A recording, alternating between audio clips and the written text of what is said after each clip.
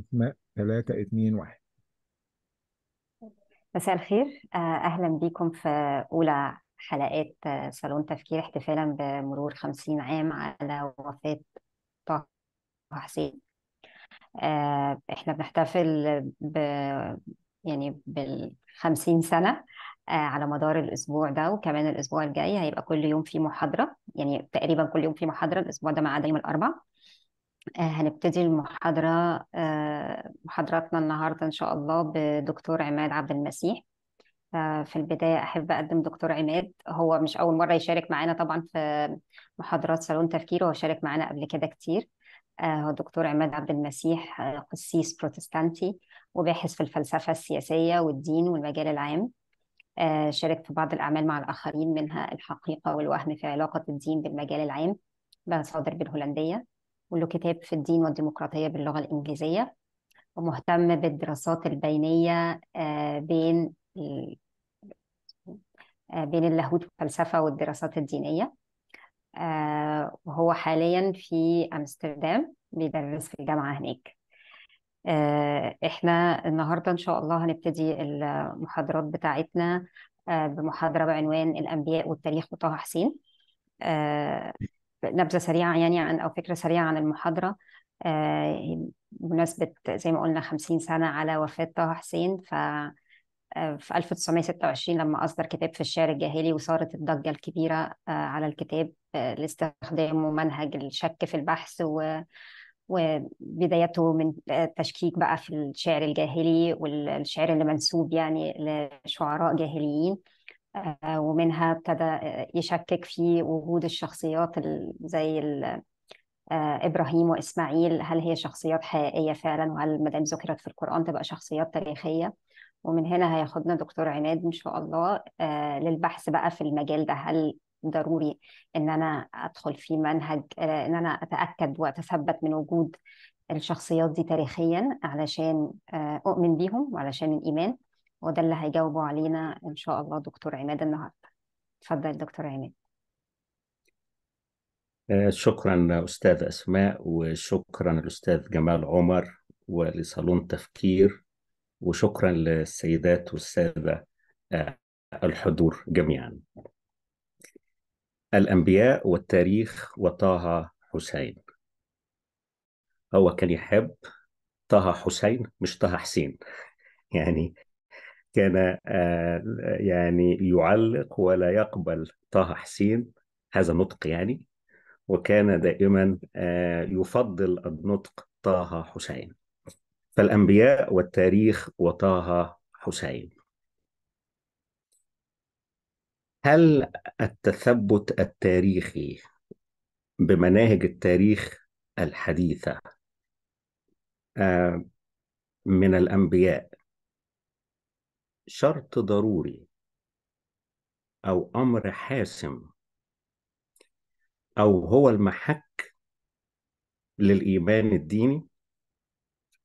هذا هو السؤال اللي سنحاول معا أن نتلمسه. ربما لا نقدم إجابة ولكن نتلمسه معا تحت هذا العنوان الأنبياء والتاريخ وطه حسين.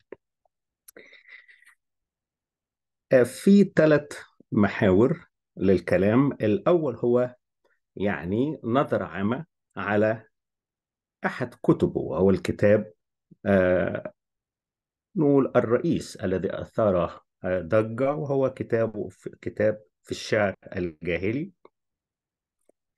لارتباطه بموضوع الأنبياء والتاريخ وفي نقده لما يسمى بالشعر الجاهلي. ثم أدخل أكثر في المحور الثاني في الأنبياء والتاريخ وتاريخ اللغة العربية عند طه حسين حسين. ثم أخيرا أو ثالثا أشير بسرعة حوالين نفس الفكرة الأنبياء والتاريخ ولكن في تراث اللاهوت الغربي عن يسوع الناصري والتاريخ في اللاهوت الغربي. المحور الأول وهو نظرة على كتاب طه حسين في الشعر الجاهلي وارتباطه بموضوع الحديث عن الأنبياء والتاريخ وعن هذا السؤال الذي نطرحه هل هذا التثبت التاريخي لازم أو ضروري؟ أو هو المحك أو الأمر الحاسم بالنسبة للإيمان الديني. في عام 1926 نشر طه حسين كتابه الأشهر في الشعر الجاهلي.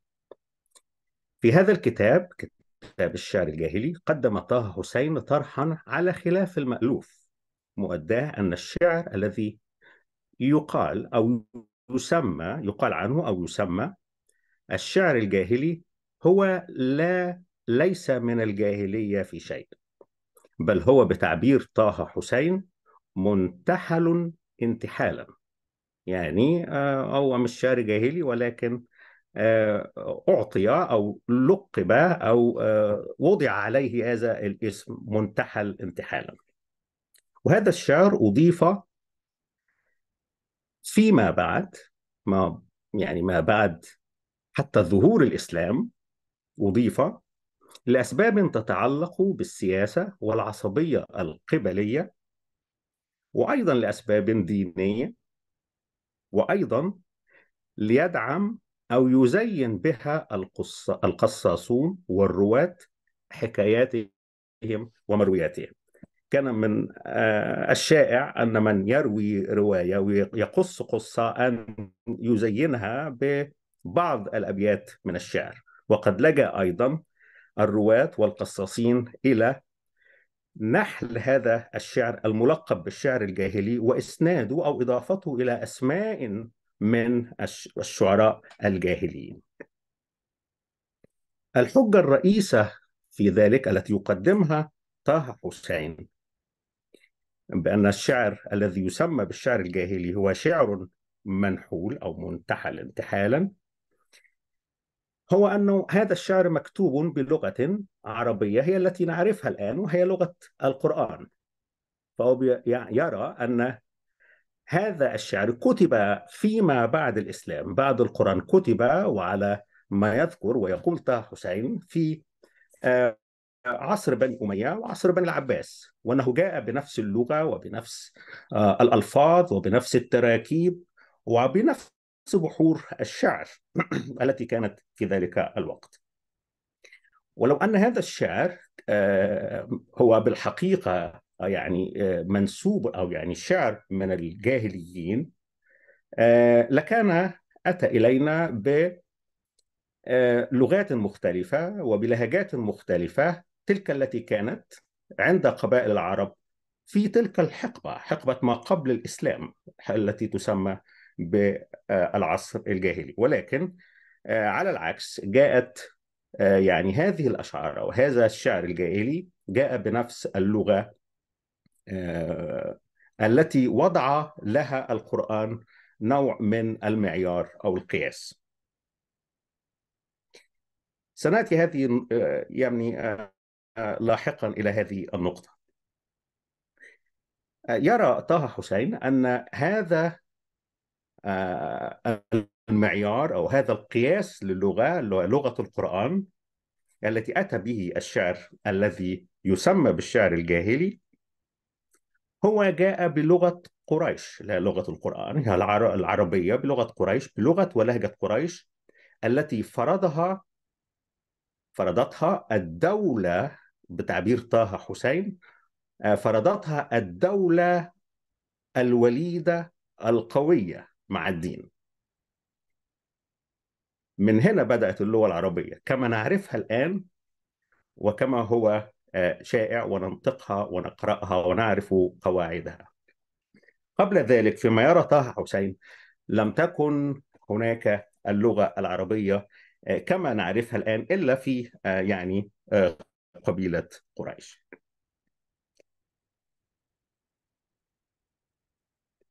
وأمر آخر يرى طه حسين أن لو أن هذا الشعر بالحقيقة يعني هو شعر من الجاهليين لأتى إلينا يعني محملا بعادات وتقاليد واعتقادات دينية وصور الحياة الاجتماعية في الجاهلية ولكن آه، لا نرى ذلك كما يرى طه حسين يعني أن الشعر يحمل لنا هذا هو يحمل لنا بالتقريب نفس المفاهيم الدينية التي كانت شائعة فيما بعد ظهور الإسلام.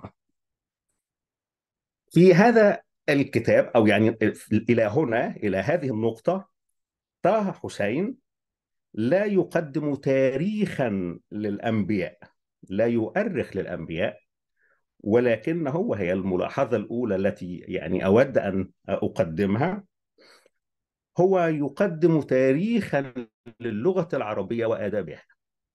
ليس معنيا بالمقام الأول أو في المقام الأول بأن يقدم تاريخا للأنبياء.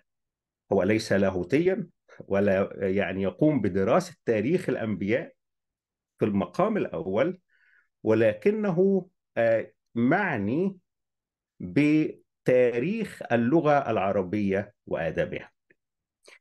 رغم أهمية هذه الملاحظة أنها ليست كافية الآن في سياق حديثنا عن تاريخية الأنبياء لأنه أيضا طه حسين يشتبك ولو آه يعني آه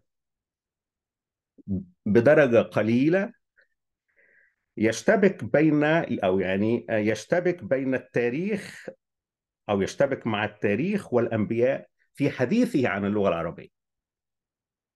هو يعني ليس في المقام الأول يتحدث عن تاريخ الأنبياء هو معني بتاريخ اللغة العربية وأدابها ولكن في هذا السياق في تاريخ اللغة يشتبك بعض الشيء مع تاريخية الأنبياء. وهنا انتقل إلى المحور الثاني. يعني الأنبياء والتاريخ وتاريخ اللغة عند طه حسين. على الرغم من أنه تاريخية الأنبياء أو الدراسة التاريخية للأنبياء ليست هي الاهتمام الأول عند طه حسين إلا أنه بسبب يشتبك مع اللغة أو يشتبك مع تاريخية الأنبياء بسبب المرويات السائدة بأن اللغة العربية تعود إلى إسماعيل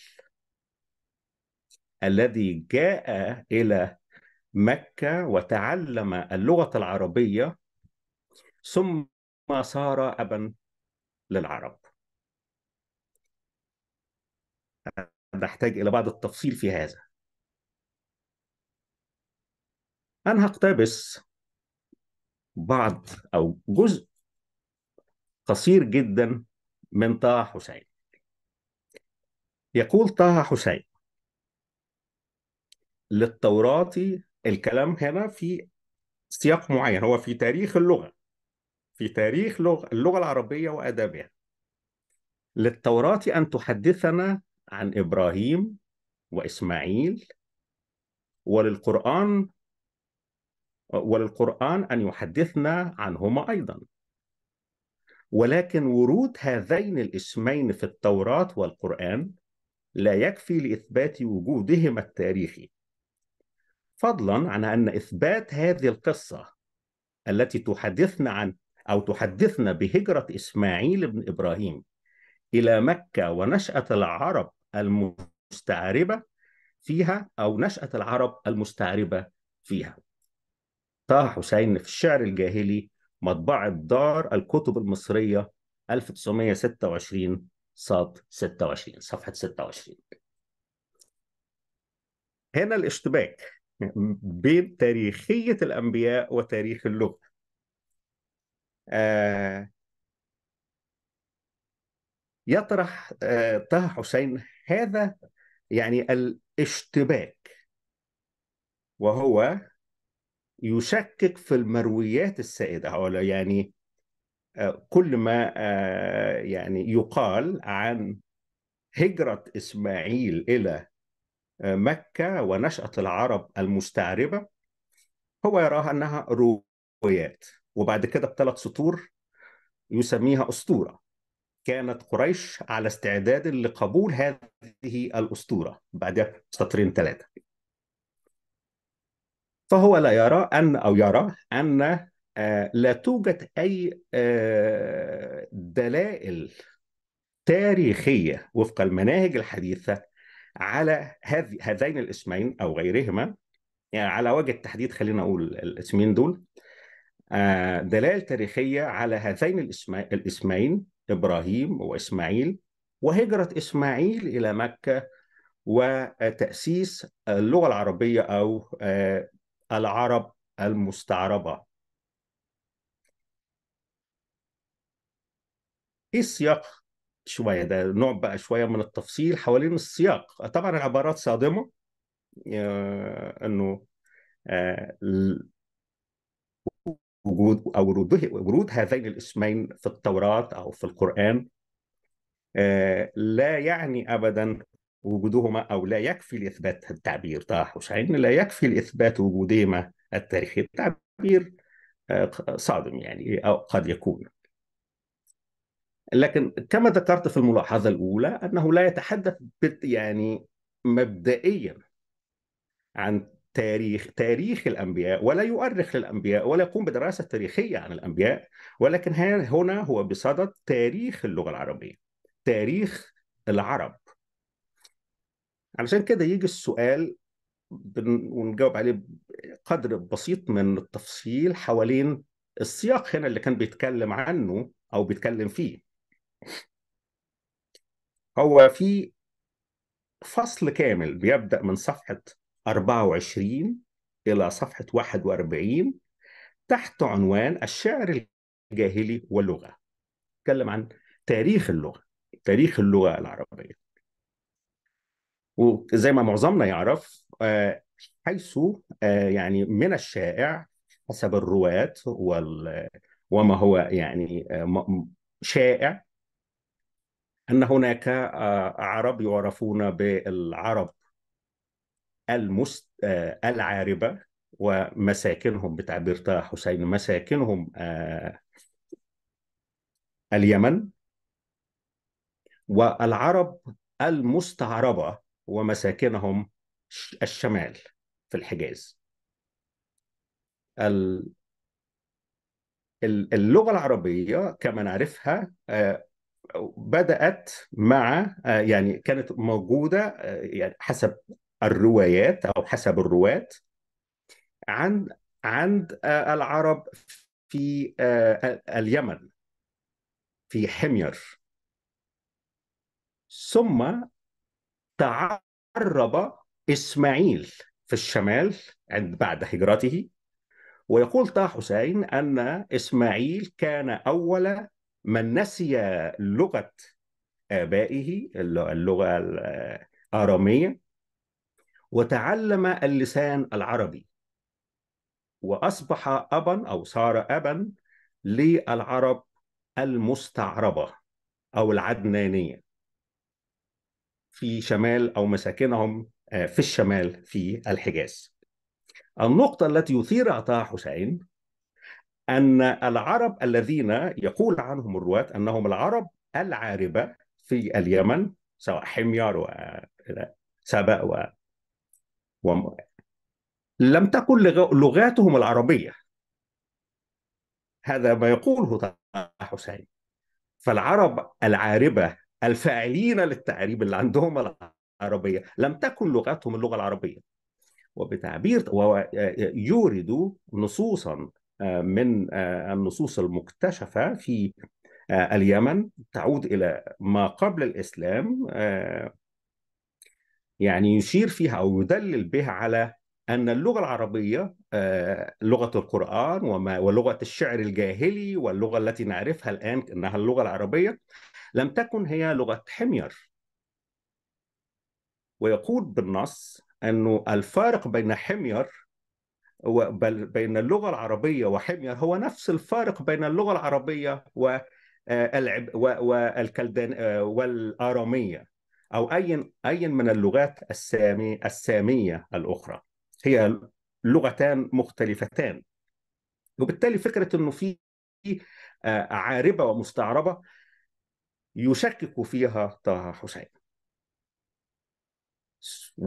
وينقل الكلام هنا عن إسماعيل اللي هو بحسب الرواة أبو العرب المستعربة وبيقولوا إنه ما حصلش ما كانش فيه ما آه، لم لم لم لا يوجد إثبات تاريخي وفقا لمناهج التاريخ الحديثة تؤكد أن إسماعيل بالفعل هاجر إلى مكة وأنه آه، تعرب هناك أو استعرب آه، وتعلم العربية. لا يوجد آه، تاريخي يؤكد هذا آه، ما يقوله آه، الرواة بهذا الشأن.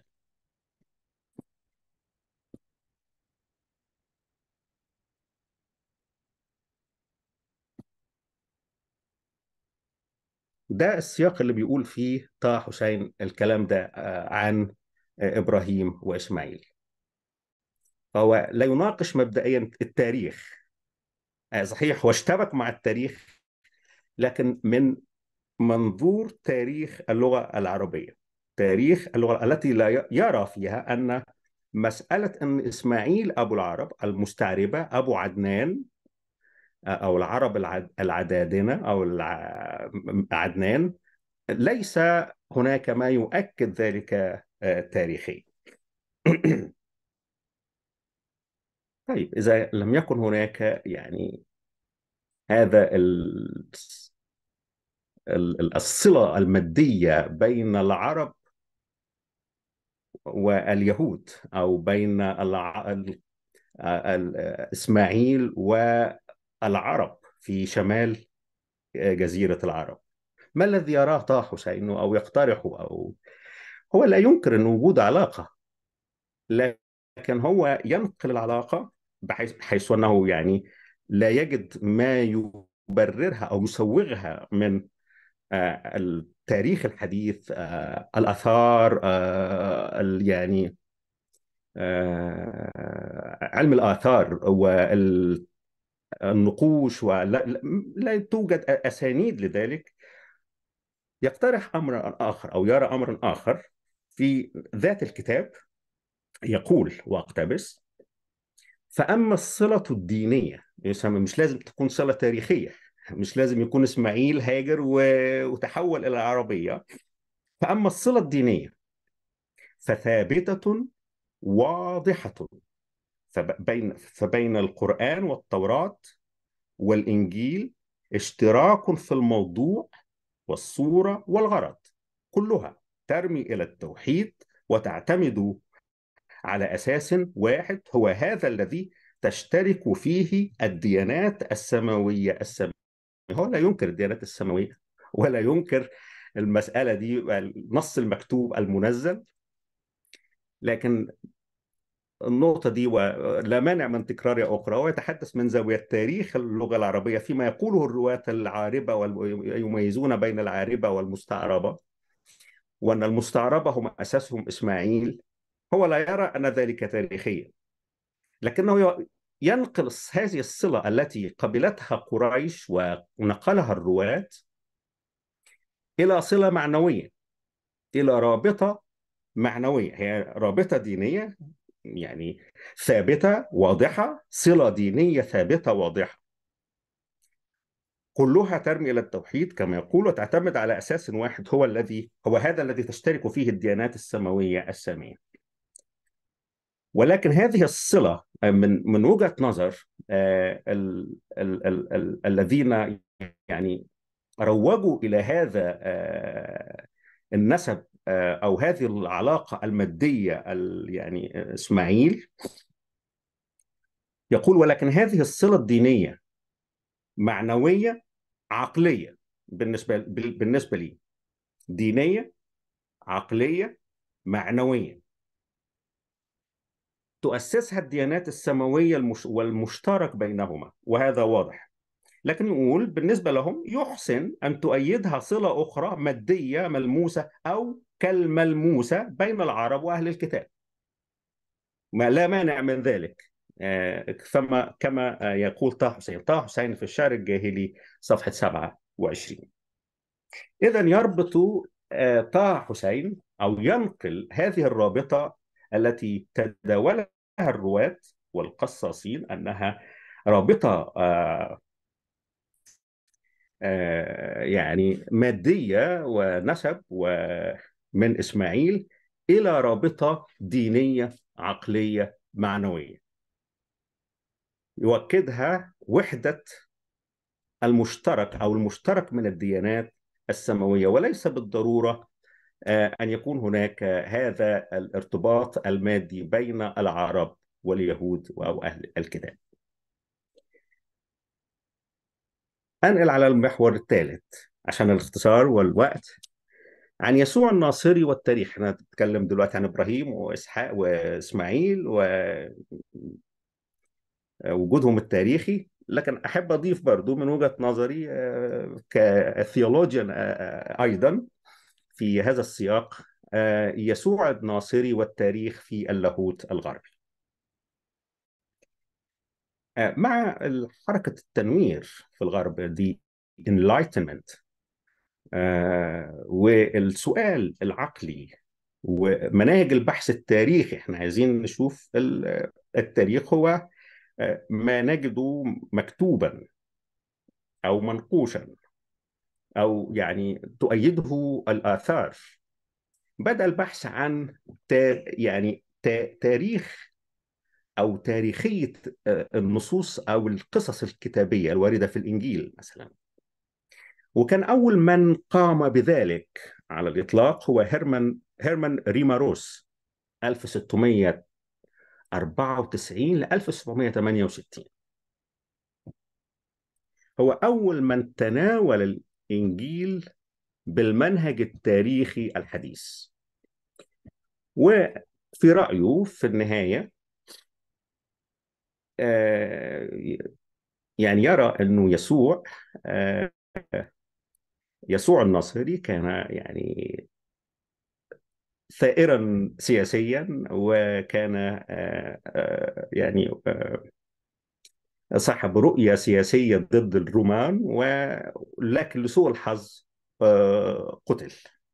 انتهت طموحاته بأنه قتل.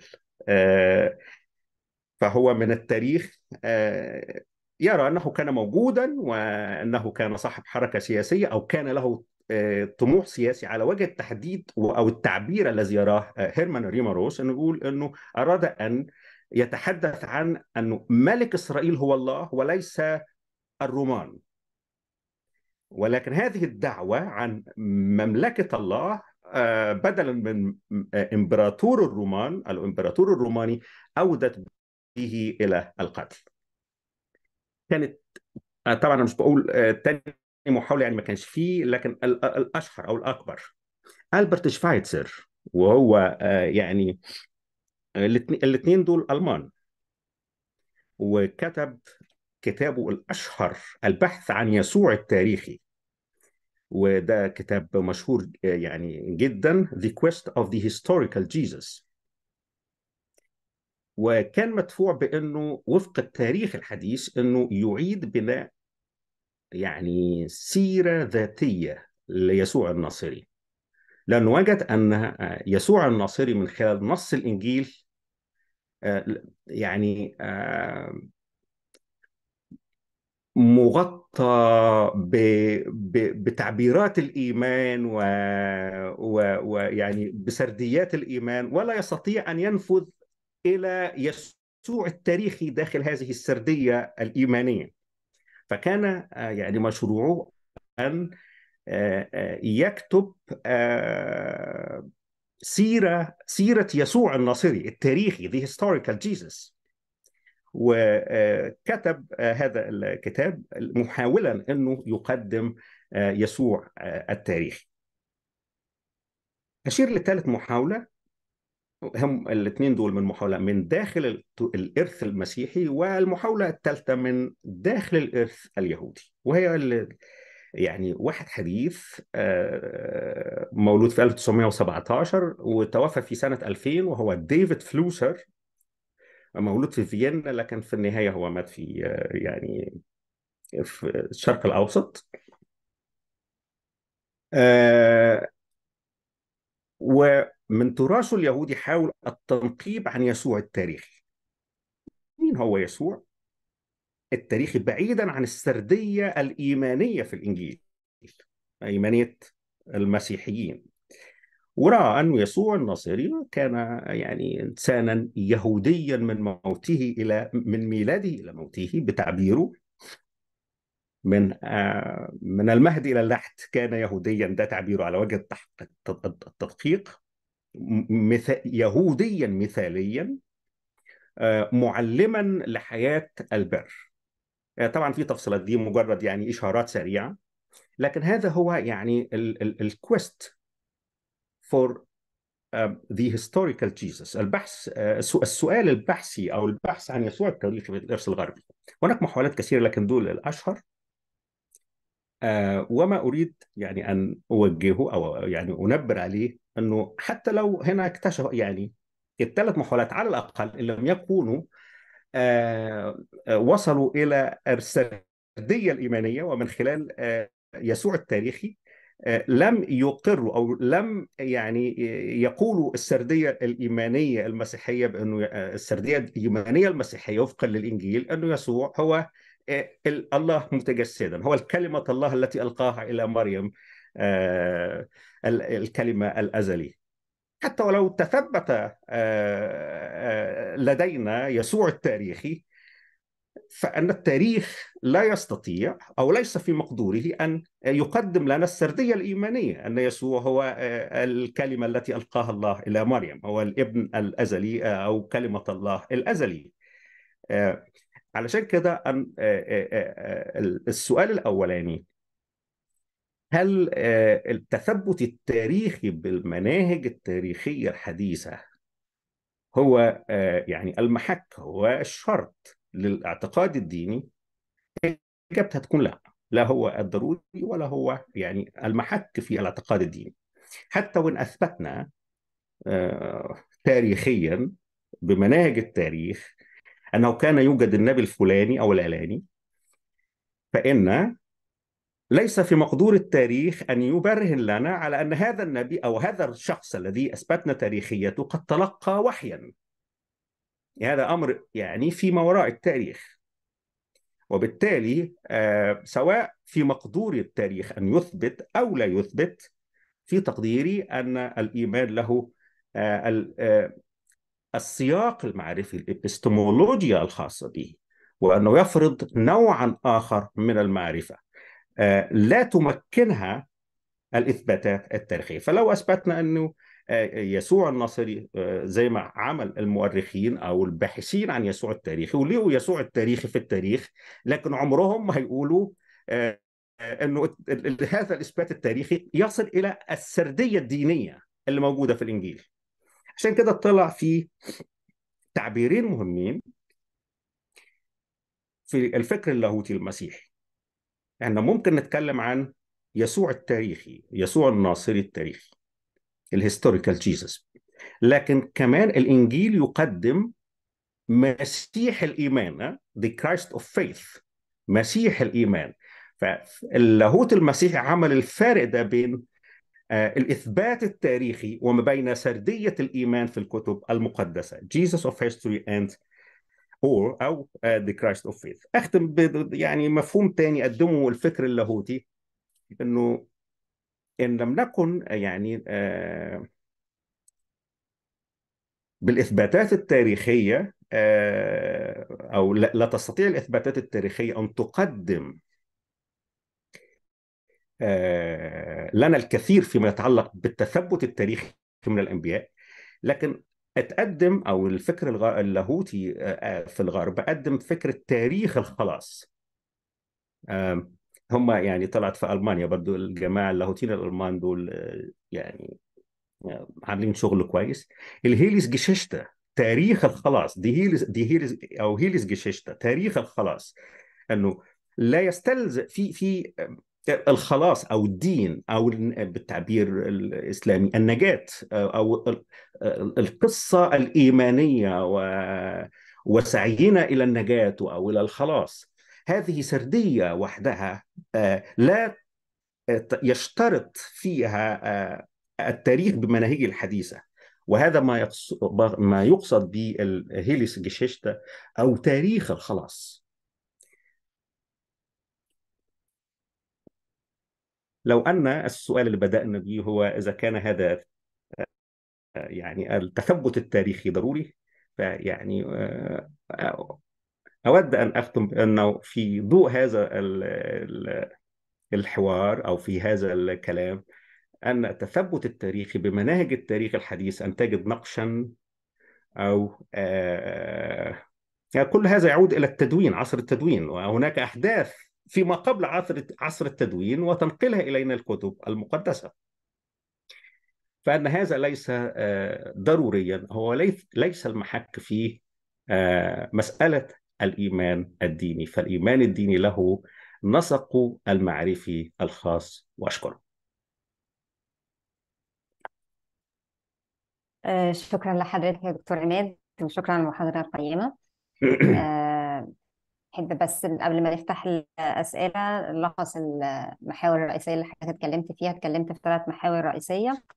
علشان لو كان في حد دخل متأخر يبقى معانا على نفس البيج حضرتك كنت بتتكلم على كتاب في الشعر الجاهلي والمنهج اللي طه حسين استخدمه للبحث في أصل الشعر الجاهلي وإن طه حسين كان بيقدم في الأصل تاريخ للغة العربية وأدبها وليس ولم يكن معنيا بتاريخ الأنبياء نفسهم بتاريخية الأنبياء نفسهم.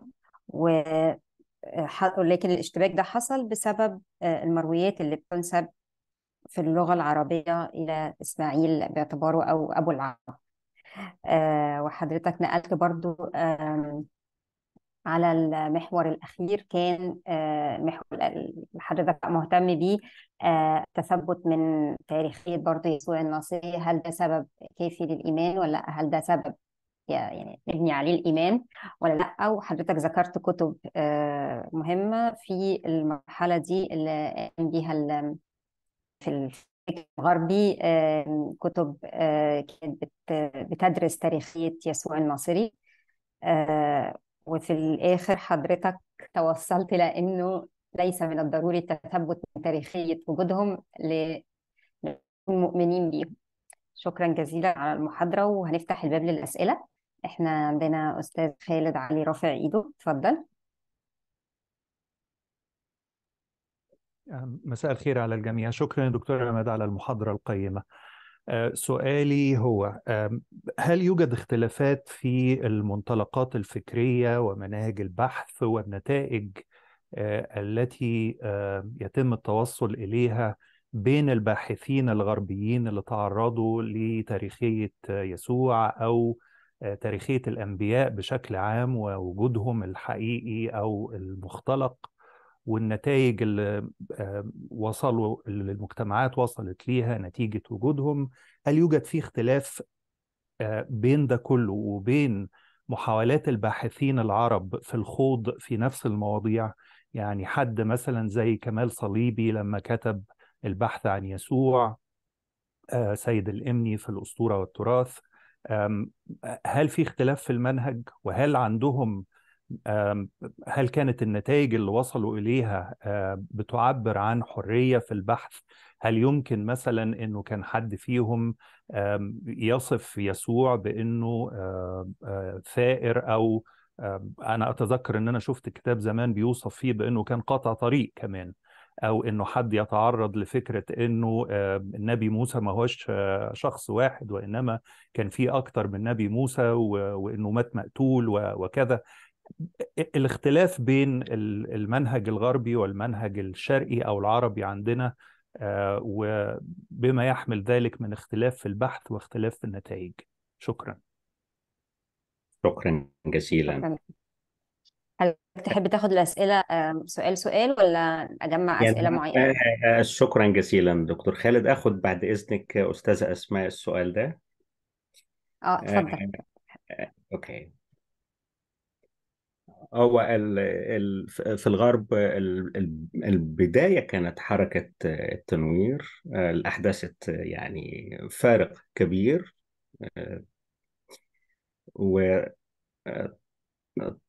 وبدأت بطرح الأسئلة التي لم يكن أحد يجرؤ على طرحها. يعني قبل ريماروس ما حدش فكر في فكرة تاريخية يسوع يسوع اللي موجود في الإنجيل. آه، لكن بدأ ريماروس ومن جاء بعده بطرح الأسئلة عن تاريخية يسوع. آه، لكن لأن الجو في العام فيما بعد آه، يعني في أثناء وخلال دي انلايتنمنت ايرا كان آه، الحرية. ويعني ما حدش هيقول لألبرت شفايتسر أنت كاتب كلام عن يسوع يعني يعني مش هو اللي بالظبط في الإنجيل. آه، كان آه، الجو آه، العام يسمح بذلك بل في من هم أكثر من من من ألبرت شفايتسر في نقد معجزات يسوع. يعني يعني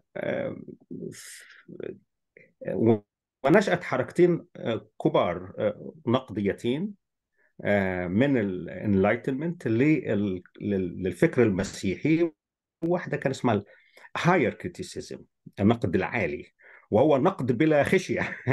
يعني ممكن تقول اللي أنت عايزه ال higher criticism إن موسى مش موسى. yes طبعا السفر أيوب ما كتبوش أيوب. هو مكتوب قبل كده وهو نوع من المروية التي يعني أعيد تنقيحها عدة مرات مثلا. وسواء النقد النصي أو نقد الشخصيات أو في حركة ال higher criticism كانت حركة حادة ولم يكن أحد يعني يعني يقول إنها حركة يعني يعني يوقفها أو يعني يرفع قضية تحريم و وإنه يطارد القائلين بها قضائيا. أو الفارق إنه ده ده في ال Enlightenment في الغرب وحركات ال higher criticism للكتاب المقدس وكانت بحرية شديدة جدا. وطبعا الوضع ده تغير فيما بعد بعد الحروب العالمية والأولى والثانيه وابتدى المسائل ترجع تاني إلى درجة مختلفة. بالنسبة للمناهج المناهج عندنا فيها نوع من الحدة ونوع شوية وهذه يعني بشعر إنه الناس اللي بتنتقد. يعني بنوع من فيها تباهي كده إنه يعني آه... إنه عمل حاجة عمل مع إنه الناس بتدرس بتقدم دراسة يعني آه... بتعمل جهد بحثي لكن في ناس بتتباهى إنها تستطيع إن هي تنتقد ما هو يعني. يعني القائم والثابت الثابت بين قوسين يعني آه... مع إنه من الناحية الأخرى الجو الحرية لا يعني لا يسمح بالكثير من ذلك فهناك يعني كما نعلم جميعا يعني التكفير والملاحقات القضائية وإلى آخره. فهو يعني في في في في اختلاف. بس أرى بشكل عام إنه ما يقدم في الشرق يعني هو صورة ما وليست صورة ما من مناهج النقد في الغرب. صورة وقد تكون باهتة أشعر بذلك من النقد في الغرب. أنا أرجو أن أنا أكون تمام. شكرا يا دكتور. شكرا جزيلا. شكرا لحضرتك يا دكتور.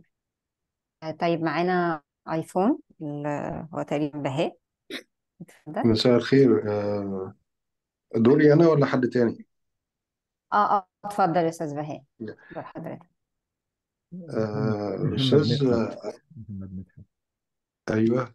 أستاذ عماد آه، هل ده شغل طه حسين؟ ده كان درس علمي. صحيح؟ يعني هو ما كانتش دراسة نقدية أكتر من إن هو كان بيدرس تاريخ اللغة بس. وما صح تطرق إليه مهم. دوت جه معاه كده إيه آه، من ناحية اللينجويستيك من ناحية اللغة يعني. صح. فهل الأفكار بتاعت طه حسين ما كانتش آه، آه، آه، يعني طه حسين آه، لم ينشأ من العدم. هل كان في مشاريع آه، في في في في في اللحظة ديت اللي أنتج فيها طه حسين هذا الكتاب كانت بتتكلم عن هذا الموضوع فأصبح فيها إن إن طه حسين بقى نتاج هذا الكلام؟ هل كان شك- أشكرك. طبعا الأستاذ أسماء هي اللي بتدير.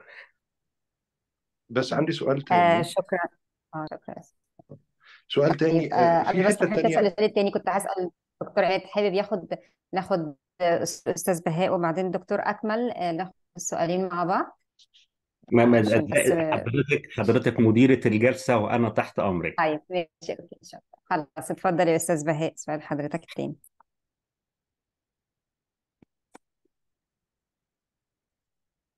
آه أنا أستاذ أستاذ بقى حضرتك أوكي آه آه. السؤال الثاني إن إن شخص فرد اسمه إسماعيل ينتج هذا الإنتاج يعني هل إيه الراجل ده كان بيتكاثر إزاي؟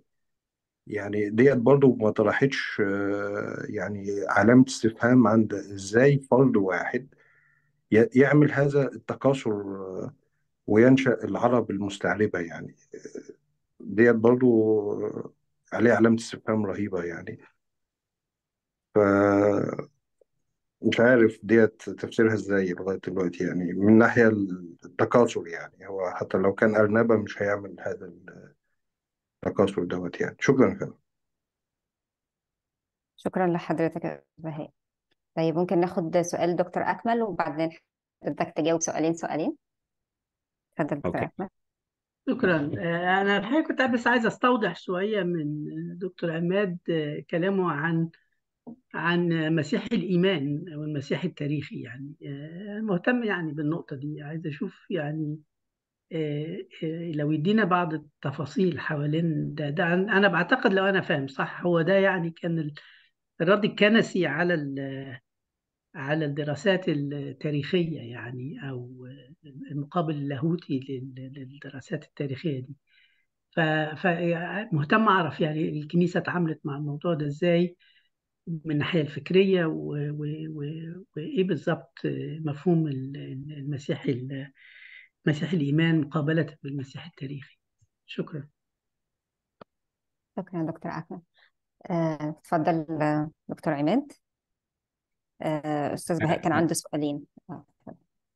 آه،. آه، شكرا أستاذ أسماء السؤال الأولاني للأستاذ بهاء أو يعني خلينا نبدأ من السؤال الثاني حوالين إسماعيل والتكاثر آه، نفس السؤال ممكن يوجه إلى آدم يعني هو آه، كان إيه علشان كل يعني تقريبا سبعة مليار دلوقتي هو نفس السؤال يعني هو دي أجيال و- وأمم بتنشأ ولكن السؤال الأولاني الأولاني عن آه، هل كان في شغل قبل طه حسين؟ آه كان في شغل آه، إحنا بنتكلم عن الم... بدأ من عصر التنوير في أوروبا و... والعقلانية الراشوناليزم والمدرسة المدارس التاريخية المختلفة وفكرة أنه التثبت التاريخي معناه آه، وفق مناهج التاريخ الغربية إنك تلاقي حاجة مكتوبة عن الحقبة دي عن الحقبة اللي أنا هدرسها. آه، ألاقي بردية آه، أو ألاقي تمثال منقوش عليه حاجة أو ألاقي آه، عملة متداولة في تلك الحقبة فعليها صورة وعليها كتابة فأنا أقدر هنا أعرف.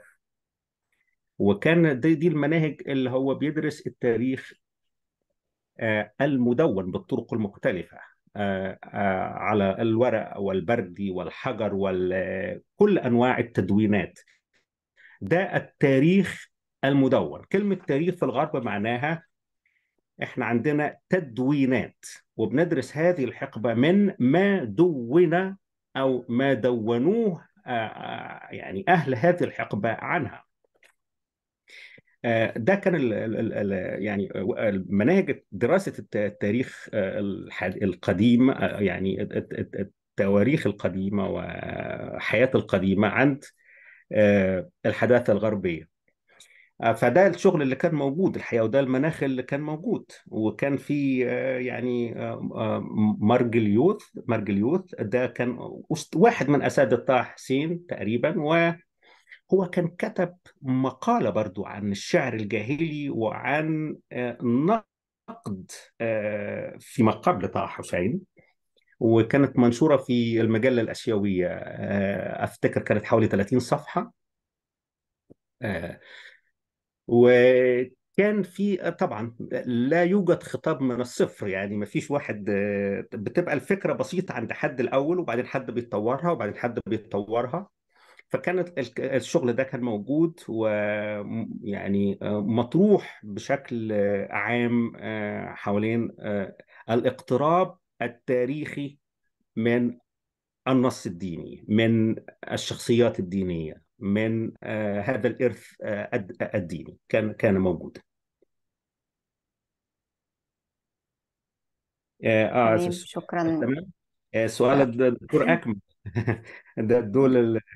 لكن بالنسبة لفكرة التكاثر وإسماعيل وأنا قلت برضو السؤال ده ممكن يجي على آه، آدم. آدم. آه، آدم آه، إحنا سبعة مليار ومن آدم يعني. ولكن كمان في أسئلة عن تاريخية آدم. إحنا يعني لما بنتكلم عن يعني أنا قلت في ذكرت إنه الت- التثبت التاريخي بالمناهج اللي أشرنا إليها دي ليس حاسما بالنسبة للإيمان أنه من أنه البشر من آدم و... والآخره لكن إحنا ما عندناش أي إمكانية من التثبت التاريخي من آدم أي إمكانية. هو ما قبل عصر التدوين ما قبل عصر ما- لا يستطيع أحد أن يدعي أنه في الإمكان وفق هذه المناهج التثبت من آدم يعني. يعني عشان كده آه، كل الأجزاء دي من الكتب المقدسة التوراة أو الكتاب المقدس في الأصحاحات الأولى ويمكن أعود إلى الدكتور خالد. الأصحاحات الأولى من 1 إلى 11 من سفر التكوين آه، يسمو يعني يطلق عليها الدارس آه، دارسون للكتب المقدسة آه، يعني النص الديني هو مش هيستوري بمعنى المعنى ده إنه تثبت تاريخي ولكن بيسموه يعني primordial history تاريخ مبدئي تأسيسي تكويني ولكن يعني لا نستطيع ليس في مقدور التاريخ أن يسعفنا بإثبات هذه الشخصيات بإثبات آدم مثلا لا نستطيع أن نجد آه، شيء كتبه آدم. حتى يعني آه، آه، تذكرت الآن يعني أنه ك- طه حسين أشار في كتابه برضه في الشعر الجاهلي أنه آه، في قصيدة كان الرواة يستشهدون بها وهي قصيدة كتبها آدم في رثاء ابنه الذي قتل. آه، وده طبعا لنا ان نتخيل أنه لا لا لا لا ليس من الممكن أن يعني يعني آه، أن نقبل أن آدم كتب قصيدة والقصيدة تداولها أو تناقلها الرواة ويعني هذا بعيد تماما عن أنه يعني يكون معقولا يعني. شكرا جزيلا. ده سؤال سؤال دكتور أكمل حول يسوع.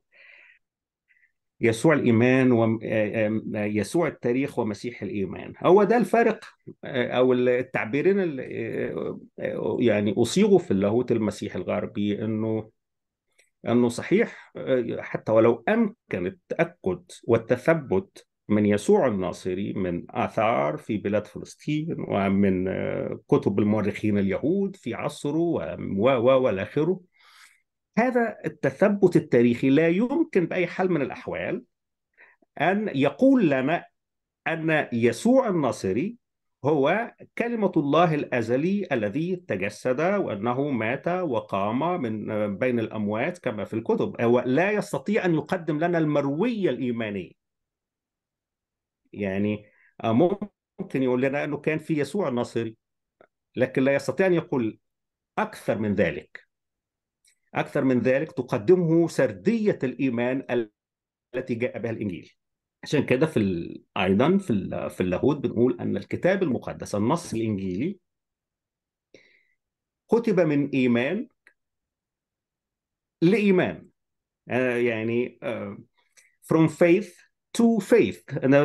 أنا هو نص مكتوب من رؤية إيمانية. يقبله شخص يقبل هذه الرؤية الإيمانية. From faith to faith. آه آه المسألة التاريخية لا تقدم ولا تؤخر هنا. يعني آه آه, آه تمام.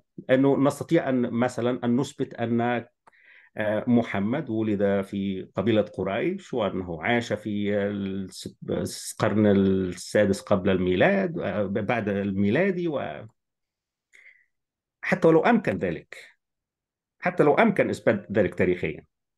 لا يمكن للتاريخ أن يقول أنه تلقى وحيا من جبريل وأن جبريل نزل عليه وأعطاه آه، القرآن مفرقا منجما وإلى آخره. هذا أبعد من التثبت التاريخي. هذا أبعد من التثبت التاريخي وهذا يعني ما يعني آه، يدعو أو دعا الفكر اللاهوتي الغربي ي- يعني يقدم هذا التمييز بين رواية الإيمان التي يحملها الإنجيل أو سردية الإيمان التي يحملها الإنجيل عن يسوع المسيح وبين ما يمكن أن نجده في التاريخ عن يسوع الناصري. آه، آه، مرة آه، تمام. بس بس حس... هو مرة آه، يمكن يمكن سنة 97 أو 98 آه، آه، قابلت الدكتور حسن حنفي في اسكندرية في مناسبة ما وبعدين قال لي بص هو لو في كم مليار واحد في العالم بيؤمنوا إن يسوع هو الله يبقى يسوع هو الله. هو بيتكلم من وجهة المنهج الظاهر الظاهراتي. يعني إذا في 3 مليار في العالم ولا وات ايفر يعني بيؤمنوا ويشوفوا يسوع الناصري إنه هو الله فهو الله لو كان في مليار ونص بيؤمنوا إنه محمد هو نبي يبقى نبي. هو وجهة نظره ال ال ال ال ال ال يعني الم يعني استخدم في التعبير ده المنهج الظاهراتي. إذا تبدى وإذا ظهر وإذا آه اقتنع آه 3 مليار بني آدم واعتقدوا أن يسوع هو الله وصلب ومات وقام فهو الله. إذا آه فهو من وجهة نظر آه، يعني ظاهرة ظاهرتية مش عارف يا دكتور أكمل أنا وصلت لحد النقطة اللي أنت عايزها ولا أنا رحت في حتة تاني؟ لا لا لا يعني أنا فهمت فهمت فهمت وجهة نظر حضرتك بس أعتقد كان برضو دكتور في حاجة دكتور أكمل بيتكلم على رد الكنيسة تقريبا في النقطة دي. آه، بص هو لا. ردود الكنائس آه، بعد يعني ردود الكنائس أو يعني في فرق بين ال- يعني دايما المجتمعات الأكاديمية وال- والكنائس الناس اللي بتروح تصلي يعني.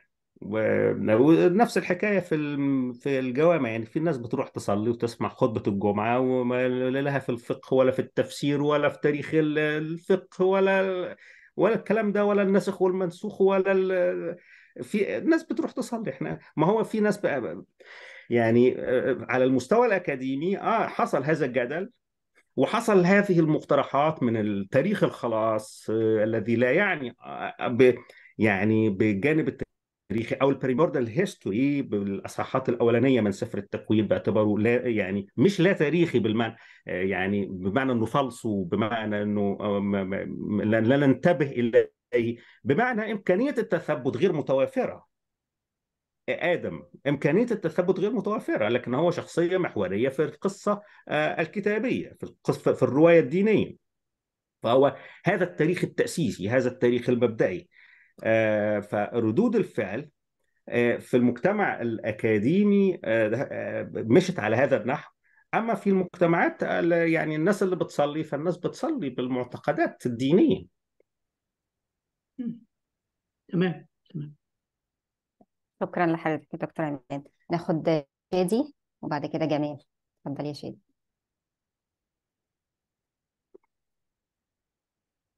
آه، ممكن تعمل اميوت آه، أنا الحقيقة استمتعت جدا بمحاضرة الدكتور عماد. آه، وصراحة هو طبعا المذهب البروتستانتي طبيعي هو مذهب عقلاني فهو يعني يمكن بيواجه ال- الأرثوذكسية الفكرية اللي هي معروفة يعني في ال- يعني آه، مليئة يعني بحاجات آه، غير عقلانية حاجات كتيرة غير عقلانية فيها. ف آه، أنا دايما يعني من بداية صالون تفكير وإحنا بنناقش في الإشكالية دي مع ال- حتى مع صديقي الأستاذ جمال عمر ودايما بيقول إن إن إحنا مش شرط يكون نتثبت من موضوع تاريخيا لأن هو حقيقة ثقافية زي ما الدكتور عماد بيقول بالظبط يعني. هي فعلا الناس معتقدة في ذلك فإحنا بنتعامل مع الوعي الثقافي أو حتى لو كان الوعي ده آه، مش موجود على أرض الواقع يعني الوعي ده ما كانش موجود أساسا تاريخيا. المناهج التاريخية الحديثة بتنكر وجود ال- الأنبياء دي. آه، فهل ده هل ده يشكك في إيمانيات الناس؟ يعني هل الناس هل الناس تعتقد آه، لابد من وجود الأنبياء دي حقيقة أو على أرض الواقع أو تاريخيا عشان نؤمن بكلمة الله؟ هو ده السؤال المحوري. يعني محمد أحمد خلف الله كتب الفن القصصي في القرآن. العنوان نفسه بيجاوب على الكتاب. الفن. الأديان عبارة عن فن. الأديان عبارة عن تمثيليات عن أمثال كلها. وحتى القرآن ركز على النقطة دي. ضربنا لكم الأمثال. الأمثال هي مجرد ضرب خيالي للوصول للحق. يعني إذا هل هل هل الله أو الرب حينما يخاطبك بتمثيلية هل هذا يعني أنه إله كاذب؟ لا حاشا لله. يعني الأستاذ جمال عمر دايما قالها قال أنا أمي كانت بتقول لي ما تروحش ال- الترعة يا جمال عشان في جنية ممكن آه، تشد رجليك. هو بيقول كلام أمي ده حقيقة وجدانية وشعورية بتشكلها ذات هي خايفة عليا. فهل المثل اللي ضربته ربة البيت اللي هي الرب ساعتها هل دي هل ده آه، آه، مثل يعني ما أنقص جمال من الغرق أنقذه من الغرق فإذا ليس كل فن هو. هو كذب الفن هو حقيقة وهو حق فإذا عندما نقول الرب يمثل لنا الأمثال بهؤلاء الأنبياء ف... فليس من الضروري أن يكونوا ظهروا في التاريخ ليسوا من الضروري. وهذا لا يقدح في إيماننا بهم لأن كلمة الله خلق وكلمة آه، أم الأستاذ جمال كانت خلق برضو وكلمة آه، آه، نجيب محفوظ في السيد أحمد عبد الجواد كانت خلق هو السيد هذا خلق خلق شخصية أكثر من الواقع. فإذا إحنا دايما يعني الإشكالية إن إحنا يعني نستهين بالفن القصصي. الفن والقصة والحكاية والأسطورة هي خلق ويمكن أن تصل بها إلى الحق والحقيقة. آه، ده ده دي مداخلتي وأشكرك يا دكتور عماد. شكرا يا شادي شكرا يا شادي آه طيب جمال اتفضل. هو أنا آه، لما شفت إن آه، شادي رفع أو طلب الكلمة رفعت إيدي على طول عشان عارف إن هو هي هيدخلني في الموضوع. فأنا بمنهج الشك بتاع ديكارت اللي نقله اللي نقله طه حسين مش طه حسين. آه، آه، بشكك في استمتاع شادي بال- بالمحاضرة آه، لأنه آه، الدكتور عماد جاوب في النهاية إنه آه، مش شرط مش شرط أن يتحقق تاريخيا لصحة الإيمان المؤمن بيؤمن لأنه آه، رسالة إيمانية وطبعا شادي مش هيعجبه الكلام ده لأنه هو آه، عايز ي- آه، آه، مفيش أدلة تاريخية على الناس اللي موجودة فده كله كلام ملوش آه، شيء يعني. كفاية عن شادي. أولا أنا ب- بشكر الدكتور عماد على المحاضرة وبحييه وبشكر إيمان آه، أسماء على ال- الإدارة وبشكر إيمان على تصميمها للبوسترات للموسم. وعايز أناقش الدكتور عماد آه، شوية مناقشات. دكتور عماد طبعا هو دايما بيعلمنا من منطلق إنه آه، ما وصلت إليه البروتستانتية وإحنا ممكن نمشي فين. يعني الاتجاه اللي إحنا ممكن آه، نمشي فيه. فأنا عايز آه، آه، أناقشه في نقطتين. النقطة الأولى اللي هي خاصة ب آه، عندنا إحنا بقى. يعني في تجربتنا إحنا. ان طبعا طه حسين لما هو بي بي بينتقل آه، آه، بيحاول يناقش السردية السائدة بالرغم إن هو بيتعامل مع آه، مسألة اللغة وما كانش لاهوتي بيبحث في تاريخية ال ال الأنبياء إلا إنها يعني الأمور متصلة. ما هو مجرد إن أنت يعني شفنا محمود شاكر قعد فرش له الملاية سنين طويلة علشان دفاعا عن الشرع الجاهلي وهكذا. ف نرجع تاني للسردية عندنا بقى. فسؤال الدكتور عماد السؤال الأول خاص بالسردية المسيحية عندنا في ثقافتنا إحنا كمان. يعني ليه العقبة اللي موجودة في ثقافتنا للانتقال بنقد برضو للسردية المسيحية عن الأنبياء وعن التراث بتاعهم ليه ما حصلش عندنا هذه النقلة تاثيرا وتاثرا باللي حصل في أوروبا من ناحية نقد الكتاب المقدس ورواياته والى اخره اللي حضرتك ذكرت. الحاجة الثانية اللي هي تخص بقى السردية عند المسلمين لأنه برضو إحنا طه حسين في جزئية معلش يعني هخرج شوية على الموضوع أو أطول شوية يعني إنه مارجوليوس اللي كتبه ما ثبت لناش ان طه حسين قراه قبل ما إيه قبل ما يكتب لأن اللي كتبه طه حسين في الشعر الجاهلي هو المحاضرات اللي كان بيديها في سنة 25 في الجامعة. المقالة بتاعت مارجوليوس ثلاث شهور قبل نشر الكتاب بتاع طه حسين فإن هو تتنشر هناك وتوصل لطه حسين وطه حسين يطلع عليها ويتأثر بيها لكن طه حسين هي هي ديت النقطة. هي بقى شارك في مؤتمر للمستشرقين سنة 23 فلما راح شارك في المؤتمر لقى الأوروبيين ده هم نازلين تقطيع في آآ آآ تاريخهم وخصوصا بقى التاريخ اليوناني القديم والتعامل أيوة. معاه فهو حاول تاثرا بجو المؤتمر بتاع المستشرقين دوت هو بينقل نفس الأمر وبيناقشه عندنا. لكن برضه هيجي سؤال تاني إيه هي بقى المعوقات عندنا؟ حتى في حالة السردية ال ال الإسلامية. يعني شادي ذكر مجموعة أمثال رسالة خلف الله في سنة 47 عن الفن القصصي في القرآن الكريم. و... وكتاب حتى علي عبد الرازق بالرغم إن هو لا لاهوتي ولا هو دخل في في الموضوع بس برضه إيه يعني يعتبر في نظر المتدينين أنكر معلوما من الدين بالضرورة إن الخلافة ديت يعني مش اصل من أصول ال... ال... الدين. أظن سؤالي هو ليه عملية النقد عندنا إحنا في ثقافتنا عاجزة؟ آه طبعا في حتة بقى إن مفيش حرية أكاديمية زي ما موجودة في في الغرب بس إحنا برضو ما مرناش بعصر تنوير. ما مرناش بعصر إصلاح ديني يعني يسأل في في الأمور دي عندنا بس هل في معوقات تانية من وجهة نظر؟ الدكتور عماد ثابت. شكرا. شكرا ليك يا جمال طيب اتفضل دكتور عماد. إحنا عشان هنرجع في آيفون بعد كده فممكن حضرتك تاخد المداخلة بتاعت جمال. بعد كده تمام. نرجع لآيفون. شكرا. آه، آه، اسمح لي يا أستاذ جمال آه، أعود إلى الأستاذ شادي ثانية واحدة. آه طبعا آه، يعني هو ذكر آه، تعبير الأسطورة. آه، هو تعبير الأسطورة تعبير مظلوم شوية عندنا باعتباره يعني مرادف للخرافة و آه، يعني كذبة يعني موضوع كذب في كذب يعني وخرافة. و...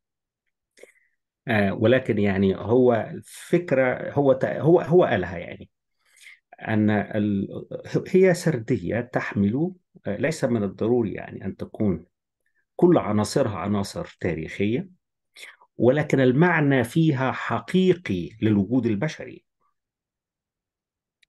ده ال- ال- ال myth الميثولوجيا واستخدمت لاهوتيا أو استخدمها لاهوتيين آه، ده يعني زي آه، رودولف بولتمان آه، أستاذ في جوتنجن كان يعني طبعا الكلام ده في الستينات و... وده هذا المعنى أنه حتى لما نصف سردية دينية معينة بأنها أسطورة هذا لا ينتقص دينيا من هذه السردية أو من هذه القصة. لكن حتى إن لم تكن كل عناصرها تاريخية بالمعنى التثبت التاريخي اللي بنتكلم عنه لا تزال هذه السردية فاليد لها رسالة صالحة للحياة البشرية. يعني معنى يهمنا ونافع وصالح للحياة البشرية. آه، أروح للأستاذ جمال. آه، إيه المعوقات؟ يعني آه، بخلاف ال- الحريات الأكاديمية هو البيئة المحافظة بشكل عام يعني. يعني آه، إحنا آه، بنميل إلى ال- التقليد بشكل عام وإلى ال- المحافظة سواء في السياق المسيحي أو في السياق الإسلامي يعني. آه، و والنقد الديني آه، بنخشاه سواء آه، طرف مسيحي أو طرف مسلم لئلا يستخدمه الآخر في أنه آه هو آه الطرف الآخر آه روايته آه غير صحيحة وكاذبة و والعكس أيضا. بالعكس فأعتقد أنه ال ال أنه هناك يعني تركيبة نفسية محافظة بشكل عام في المسائل الدينية وتصل أكثر من محافظة كمان شوية إلى يعني آه آه النقلية آه آه يعني وأحيانا راديكالية يعني أكثر شوية من محافظة. آه وبعدين هو يعني إحنا مجتمع بسيط مسالم يعني يحب الرواية البسيطة ال- آه، النبي الفلاني وعمل كذا وإحنا بنتعلم القصة و تمام على كده. هو ما حدش يجي بقى يلعب في مخنا ويقول لنا إن دي ما فيهاش تاريخ ودي ما حصلتش ودي معناها كذا ودي معناها كذا. آه ف آه، عندما يعني أراد بعضنا أن ينقل هذه التجربة النقدية وكانت مع طه حسين؟ 1926 فهو وكانت محاضرات هي ده زي ما ذكرت حضرتك هي كانت محاضرات في الجامعة المصرية. آه، وطبعا كتبت أخيرا ونشرت 26 معناه أنه هو من سنين بيدي آه، هذه المحاضرات يعني في في في العشرينات و وكانت هذه أول آه، نقلة ويعني نقدية في التاريخ التراث والأدبي وإلى آخره وتمت محاصرتها. وأنا شايف في البرنامج في النهضوي الأخير باعتباره يمكن النهضوي الأول والأخير مثلا الذي حاول أن ولم يتمكن ولم يتمكن. فكان هناك حصار. دايما آه، في آليات زي يعني التهم آه، بالمروق عن الدين و وال يعني والكفر ودي شيء لا لا لا يعني طبعا كل الناس حساسة من إنه يتقال عليها كده إذا آه، كان عندها رغبة في التناول وهو ليس كفر ولا حاجة يعني التناول النقدي وده آه، ما فيهاش حاجة عيب لكن هناك تخوفات من يعني آه، الملاحقات بال أو الوصف والوصم بالمروق والكفر وال- وإلى آخره.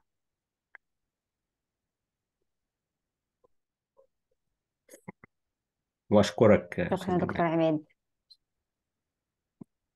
شكرا دكتور عماد. آه ناخد آيفون بس أنا آسفة أنا بس في اتنين آيفون وفي آيفون مكتوب عليه بهاء عارفه اللي اتكلم قبل كده كان هو نفس الشخص ولا لأ؟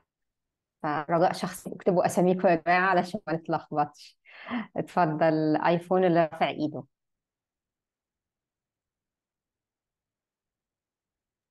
محمد مدحت آه، اعمل unmute لو أنت ولا محمد طالب حد آه آه آيفون محمد مدحت. آه ده اخر سؤال آه، أستاذ عماد. حضرتك اللي بالنسبة اتكلمت. قبل كده؟ أيوه أنا اللي اتكلمت قبل كده صحيح. آه معلش أنا آسفة عشان أنا كنت مفكرة اسمك اتفضلي بهاء فكنت بنده بهاء sorry لا يا اتفضل ستي أستاذ محمد. مشكلة. بالنسبة لاحد هل نقدر نقول أحد نتائج الأستاذ طه حسين إن ال- الأثر الرجعي إن الكتابة بأثر رجعي آه، كانت واضحة آه، واضحة ولا لأ؟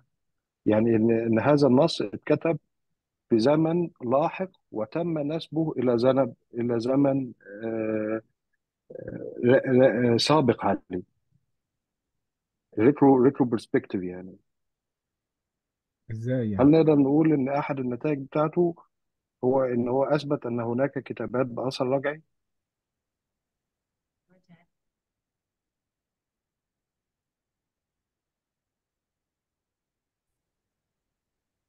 أنا أنا ما فهمتش هو أنا قوي الصوت رايح السؤال من عندي مش عارفة المشكلة آه. عندي. الكلام خاص بطه حسين يعني؟ آه، قول قول لو تسمح. آه، يعني عيد السؤال تاني. السؤال هل طه حسين أثبت في آه، الدروس التاريخية البحثية بتاعته عن اللغة أن الكتابات التي وصلت إلينا كتبت بأثر رجعي؟ أي أنها كتبت في زمن لاحق عما نسبت إليه؟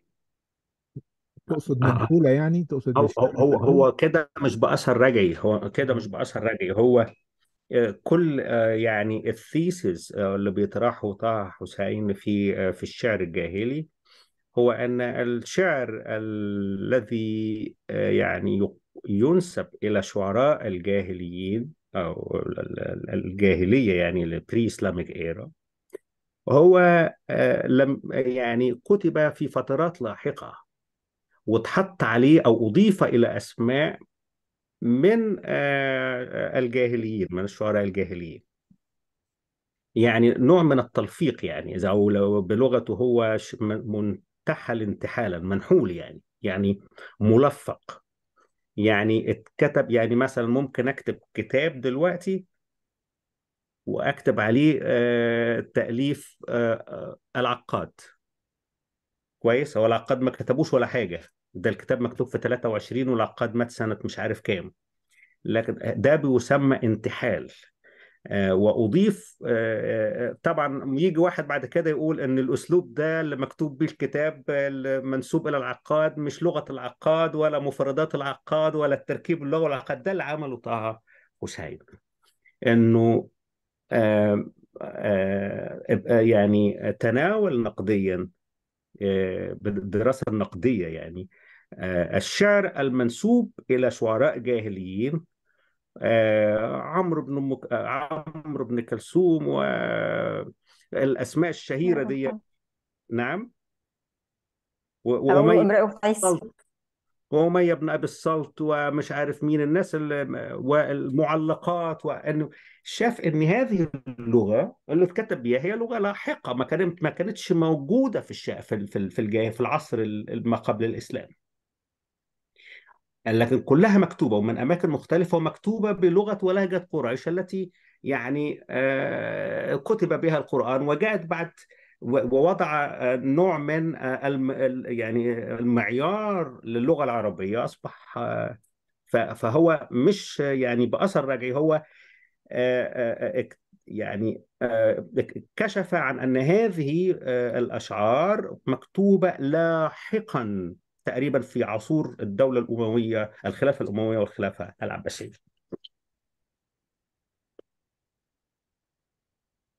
تمام. معلش الدكتور عماد هي بس الكاميرا عند حضرتك مقفولة؟ حضرتك اللي قفلتها ولا هي قفلت لوحدها؟ لا أنا قفلتها دقيقة كده يعني لحظة واحدة أنا آه بقفل. طيب. آه، ال- اللابتوب بت- بيشحن فأنا حطيت بيفصل يعني آه بيخف آه. أشحن لا شوية ولا وأفصل. يهمك. لا أنا افتكرت هي بس آه، في آه، الكهرباء. لا براحتك. لا لا لا مفيش حاجة. شكرا دكتور عماد. آه، أعتقد ده كده اجاوب على سؤالك. آه، أستاذ محمد. وعندنا سؤال رغد في الشات. حابة تسأل دكتور عماد عن اعتبار ال- الإيمان نسق معرفي آخر. آه، بتطلب من حضرتك تعرف لنا المعرفة في الحالة دي. يعني حضرتك تعتبر إن الإيمان نسق معرفي آخر. طب إيه هو تعريف ال- المعرفة في الحالة دي؟ يعني آه، يعني سؤال كويس. يعني it's a good question. آه، هو النسق معرفي بيبدأ بالإيمان آه، بأنه النص اللي موجود هو نص آه، يعني مختلف. هو نص إيماني وبيفرض نوع من آه، المعرفة. إحنا بنبتدي بالخلق مثلا بنعتقد في الخلق والخلق ده بنعرفه من؟ يعني بنقول العالم مخلوق وده إحنا دلوقتي إحنا عرفنا ها؟ عندنا معرفة إنه إحنا خليقة الله والعالم مخلوق وإحنا خدنا هذه المعرفة من مروية سفر التكوين وما يسويها وما يوازيها من نصوص الخلق في آه، القرآن والكتب المقدسة. ما فيش حاجة نعرف منها إن إحنا خليقة واتخلقنا إلا من النص المقدس.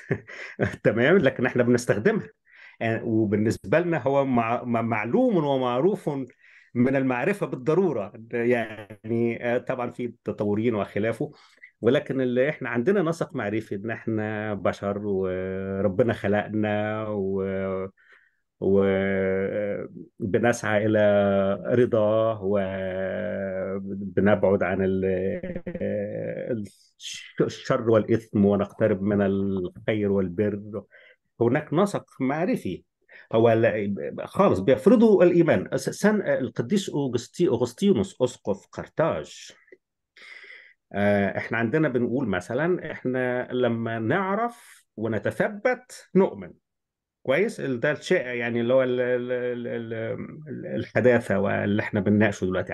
عايز تثبت تاريخي عشان أقبل وأؤمن. آه، القديس أغسطينوس من القرن الرابع تقريبا قال آه، لا هو يعني طبعا هو ما بيحاورش الحداثة هو بيقول قبل الحداثة هو بي- بيقول لا أنا أؤمن لذلك أعرف. هو بيبتدي من الإيمان الإيمان يشكل نسقا معرفيا. نؤمن آه، إيماننا بالخليق بالخلق نفسه بفكرة الخلق أنه creation we are created أن إحنا مخلوقين. بيفرض يعني ابستمولوجيا علينا إن بنتص- بنتصرف بطريقة معينة ولنا طموحات معينة و آه، وبنفهم التاريخ بشكل معين. فعندنا ابستمولوجيا معينة. لا لا تشترط يعني آه، التثبت التاريخي من حاجات كتير. لا التثبت لا التثبت التاريخي من آدم مش عايزينه. ولا ده حتى كل يعني هدي حضرتك أيضا مثل. أن إحنا بنؤمن بكتاب مثلا بنعتقد أنه ونؤمن أنه موحى به. وموحى به من الله. هذا لا لا لا لا, لا, لا, لا تثبت تاريخي في ذلك. لا تثبت تاريخي في ذلك. هو إيمان هو نسق معرفي. لكن كمان هذا الكتاب الموحى به من الله من المفترض النسق المعرفي هذا يعني الإيماني أننا نطيعه فنحن بنرتب حياتنا على هذا آه، ما نعتقد أنه كتاب آه، يعني موحى به. فبنرتب حياتنا فبيشكل نسقا معرفيا. ده ما أقصده يعني بالنسق المعرفي بعيدا عن آه، المدخل آه، الحداثاوي أو الحداثي. يعني شكرا يا دكتور عماد. ممكن نقول إن في الآخر كده هو الإيمان هو حاجة يعني حاجة شخصية هي ما ينفعش وهي مش قايمة على أي آه، على أي حاجة ملموسة يعني مش قايمة على أدلة آه، ملموسة أو مرئية. مش لازم الواحد يبقى عنده حاجة يقدر يثبتها بمنهج علمي علشان يوصل في الآخر لحاجه يؤمن بيها. يعني لأن الإيمان في دي يعني هي حاجة آه، ذاتية جدا وحاجة من- نفسية كمان حاجة وديه أكتر من أي حاجة تانية. هل يعني ممكن نقول كده؟ يعني آه، يعني آه، م- يعني طبعا تأثيرها على الذات الإنسانية على النفس الإنسانية وأؤمن بهذا الكتاب يعني إذا كنت أمسك بالإنجيل أو بالتوراة أو بالقرآن أؤمن بهذا الكتاب آه، أنه موحى به وأن له مصدر سماوي وبالتالي آه، هو ليا ليا يعني ليا كشخص بس هو أيضا يخص آه، يعني من يؤمن به آه، بنفس الكتاب يعني من البشر فنحن تحت هذا الالتزام يعني. فمش شخصي بمعنى آه، آه، يعني آه، أنا بس اللي بقصد يعني مش أنا بس مش مسألة نفسية شخصية ولكن هي مسألة أيضا أكثر من ذلك تخص من يعتقد معي بالمصدر السماوي لهذا النص أو لهذا الكتاب. تمام. معلش عايزة برضه أزود حتة هنا قبل ما ناخد آه، أستاذة نجلة. آه، طب ما هو هنا هيحصل يعني هيحصل صراع. حضرتك عندك إيمان بحاجة معينة؟ ممكن أنا لأن أنا بحب آخد المنهج بقى العلمي فأنا مش مؤمنة بيها فهيحصل صراع لأن في الآخر إحنا هنحتكم لحاجة مستمدة من الكتاب المقدس ده ايا كان إيه الكتاب المقدس. فعشان كده أنا بقول لو هي حاجة شخصية ده بيبقى إلى حد ما يعني حل مريح أو اللي هو يعني يعني يعني عايزة أقول ختام كويس لل- لل- للتجربة الإيمانية دي. كل واحد حر يؤمن باللي هو عايز يؤمن بيه بس ما يفرضهوش عليا. لا ما هو بعد يعني أنا ما أقصدش أفرضه لكن اما آه آه. by definition بالتعريف الدين لا يفرض. الدين بتعبير علي بن أبي طالب ما وقر في القلب. فان ما يعني ما يستقر في القلب ده لا يفرض. لا لا يستطيع أحد أن يفرض آه، قناعة قلبية آه، يعني على أحد. الدين لا يفرض القناعة لا تفرض القناعة القلبية. فال by definition الدين لا يفرض. الدين فقط أن تتكلم عن ما تؤمن به وتسمع ما يؤمن به غيرك وما يستريح إليه ما تستريح إليه ما يستريح إليه الضمير القلب. ده مكانه يعني. أنا أحب علي بن أبي طالب يعني في حاجات كتير. لو كل الروايات بمناسبة التاريخ والنقد التاريخي لو كل الروايات التي ترد عن علي بن أبي طالب صحيحة يكون هو فيلسوف كبير جدا جدا جدا. شكرا لحضرتك يا دكتور. أنا قبل بس ما ناخد سؤال بتاع أستاذة نجلة وشادي برضه هيعمل مداخلة تاني أنا كنت عايزة أسأل سؤال آه بس عشان ما الوقت ما يروحش وأنا ما سألتش. آه أنا عايزة أعرف لو كنا بقى فرضنا إن كان منهج طه حسين يعني أوكي عرف آه اتقبل كانت النظرية بتاعته في أو المنهج اللي درس بيه الشعر الجاهلي ده استمر. كنا نوصل لإيه دلوقتي؟ يعني كان ممكن نكون وصلنا لإيه؟ ماذا لو يعني المنهجية استمرت معانا؟ كان ممكن نوصل لإيه في في نقدنا بقى للكتب المقدسة عموما في العالم العربي يعني مش بتكلم طبعا على أي حاجة تانية في العالم العربي ده سؤال لحضرتك ممكن تجاوبه بعد ما ناخد سؤال أستاذة نجله عشان هي رفع ايديها بقى شوية ممكن ممكن هو ببساطة طبعا هو مسألة النقد في الغرب أيضا يعني مشت بمراحل كتير ولم تعد يعني بهذه بهذا الشكل اللي بدت عليه في ال 1700 و 1800 وده. آه، النقد مر بمراحل كتير و وعلى أي حال آه، حتى المنهج الديكارتي تغير ولم يعد سائدا آه، في الفلسفة و والحداثة كلها يعني آه، تغيرت إلى ما بعد الحداثة وما بعد بعد الحداثة فالمسائل بتتغير يعني حتى لو كان آه، آه، آه، منهج طه حسين في الشك والديكارتي آه، كان مقبولا أو قبل في وقتها. لا أيضا جرت أمور أخرى كثيرة. يعني هو الفكرة في المرونة في. في في في, في القبول. يعني أنه ده قال كذا فتعرض لما تعرض له. لو كانت الأمور مشيت كانت كل الأمور دي برضو بتتغير من وقت للتاني.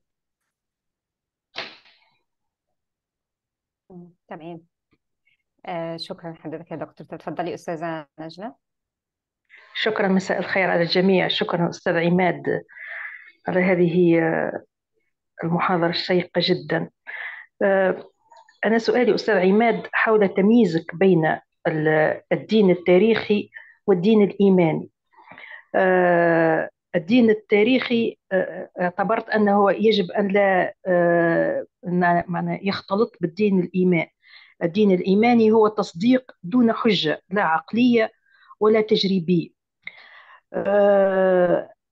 في ال- ما عشناه نحن المسلمون أخيرا من آه، آه، آه، ما ما صدر عن داعش وغيرها التي آه، اعتبرت ال- الكتاب كتاب القرآن وما جاء فيه آه، يجب آه، يطبق بحذافيره فكانت تقطع الرؤوس وتقطع الأيدي و ولا إلى غير ذلك من من من تلك الشرائع التي الموجودة في ال- في القرآن الكريم. آه، حسب رأيك لو أن الإيمان آه، هذا هذا هذا التصديق آه، آه، بط- ب- ب- ب- بصورة ب- الذي لا يحتاج إلى حجة عقلية هو يحتاج فقط إلى أن نصدق دون أن نبحث له عن حجة هل ما زال في في عصرنا الآن ما زال بمعنى ما وبعد الأحداث التي التي حدثت عن عن هذا الإرهاب الإسلامي الذي انتشر حتى في الغرب وفي غيره بهذه بهذا بهذه الذهنية بمعنى أن النص الديني هو نص يجب أن نصدقه وأن نطبق شرائعه كما نزلت هي بدون أن نبحث عن عن حجج عقلية أو عن حجج تاريخية.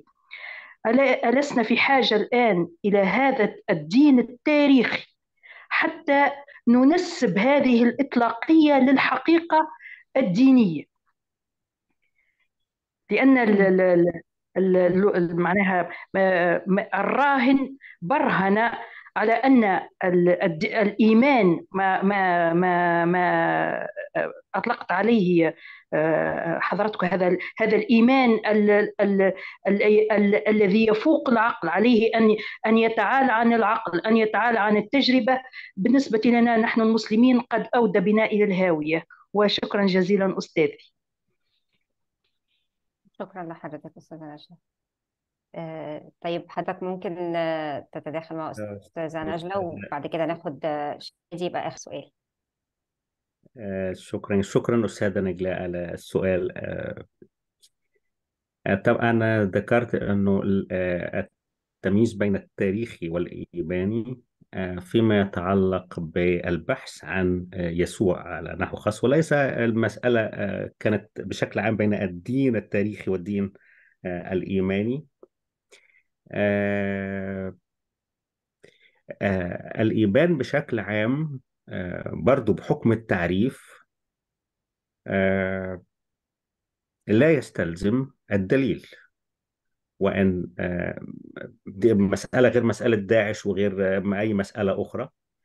الإيمان بالتعريف آه لا يحتاج إلى الدليل لا يحتاج يحتاج إلى البرهان. هو بحيث من حيث أنه إيمان فهو التصديق القلبي أو التصديق والقبول بما وصل إليه.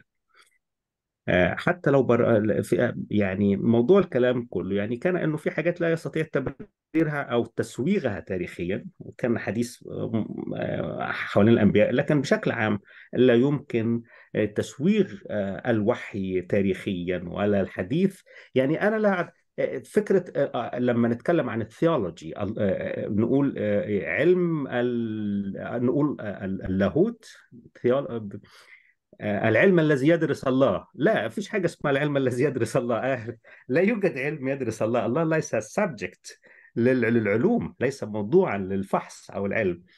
هو هو ال theology هو يعني ندرس فيه ما نفهمه نحن وما قلناه نحن البشر بلغتنا عن الله في ضوء ما يعني تسلمناه وتلقيناه من وحي فهو يدرس ما نقوله نحن عن الله ونرتبه ونصنفه ونبوبه ونضع في نضعه في شكل في في سياق مقبول مع عقل عقلي وما إلى آخره أو متعقل.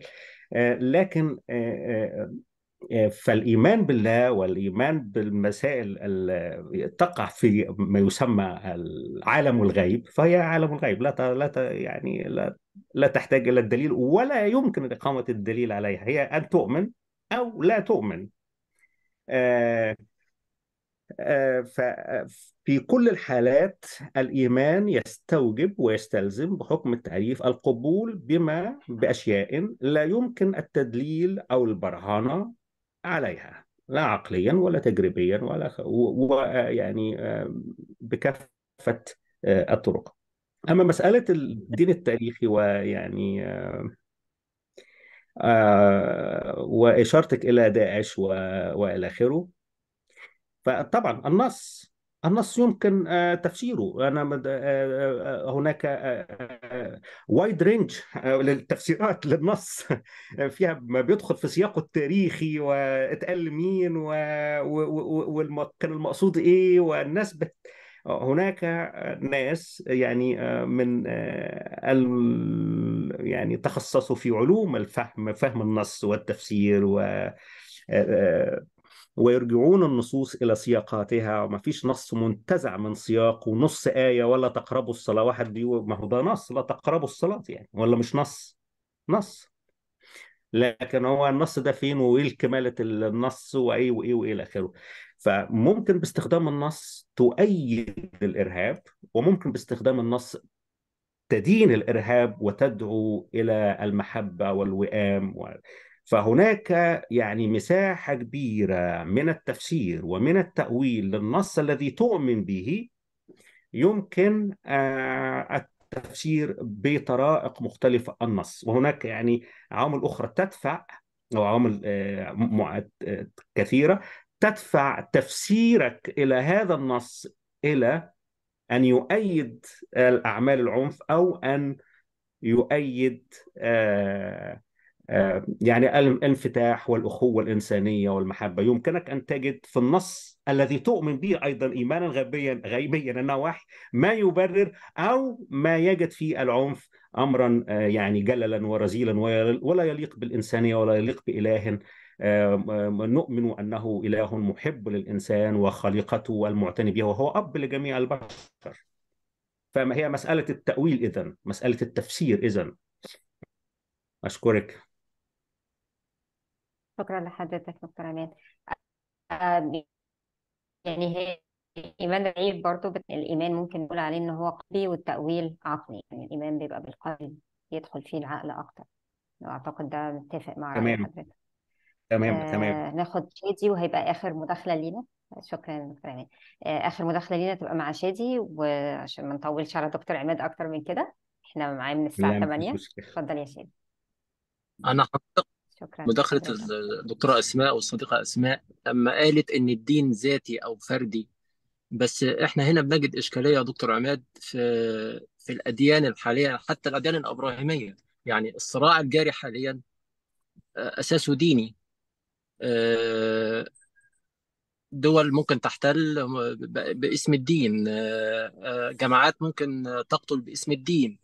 فهنا يعني إزاي نخرج من الإشكالية دي؟ يعني إحنا الأديان المفروض زي ما الدكتورة أسماء بتقول هي ذاتيه فين الذاتية هنا؟ وهي بتقتل. فين الذاتية؟ وهي بتحتل. فين آه، يعني ولدرجة إن دول كبيرة المفروض إن هي علمانية أو ليبرالية بتؤازر آه، أفكار أفكار أساسا ليس لها أصل تاريخي آه، زي. الأنجليكان هنا بيساندوا مثلا الاس- الاستعمار الصهيوني ال- والقتل اللي بيحصل دلوقتي في فلسطين. فدي كلها ما دي أفكار دينية. هل هنا الدين أصبح آه، ذاتي؟ الدين هنا دلوقتي أصبح بيضرني أنا كإنسان. فإزاي أخرج أنا من الإشكالية دي؟ إذا إذا إذا إحنا رددنا التواريخ هذا التاريخ الكاذب أو المدعى أو المزعوم وقلنا دي حقيقة ثقافية ولم ننكرها ولن نتداخل معها. فإذا إحنا هنا هن- هنظل في هذا الصراع آه، إلى أبد الابد إلى إلى أن تنتهي تلك البشرية. آه، اشكر آه، أشكرك يا دكتور عماد شكرا ليك يا شادي. اتفضل دكتور عماد. متفقة شكرا. مع شادي برضه في السؤال بتاعه. شكرا آه، آه، لا أنفي أن الدين أستخدم ويستخدم في العنف أو الحرب شعارات للحرب. لكن عايز ألفت أيضا يعني آه، الانتباه في الحديث إلى أن آه، أكبر حربين عالميتين في التاريخ الحديث الحرب العالمية الأولى والحرب العالمية الثانية آه، لم تكن بدوافع دينية وكانت بدوافع secular علمانية. الفاشية وال National Socialism ولم يكن الدين طرفا فيها.